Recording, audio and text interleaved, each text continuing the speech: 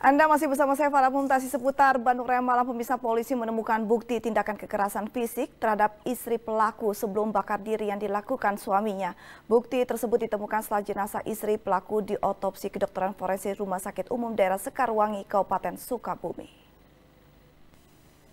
Polisi menyebut berdasarkan proses identifikasi oleh tim kedokteran forensik terhadap jasad Iis, ditemukan patah tulang pada leher istri pelaku.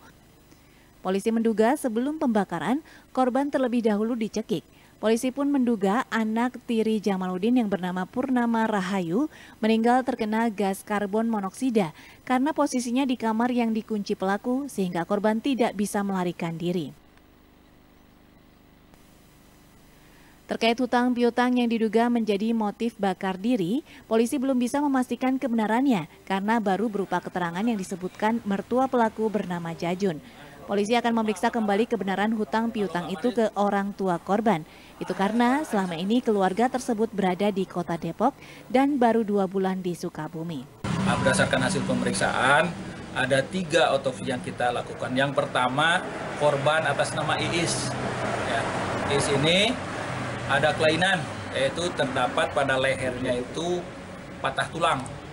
Nah, jadi kemungkinan besar meninggal dulu baru terjadi pembakaran.